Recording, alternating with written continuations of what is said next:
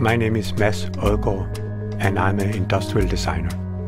I'm most at ease sitting with a plain piece of paper and a pencil sketching on a new project.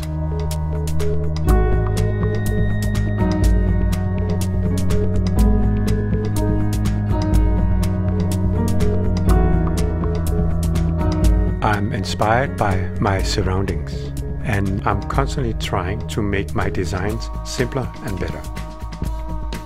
The challenge in light design is to create an object that's good to look at during the day and later illuminates the room. The character of the new lamp above that I've designed for Louis Poulsen comes from the simplicity of the drawings. Let me describe the lamp above. It's a cone shape with the top partly cut off in such a manner that the arch remains.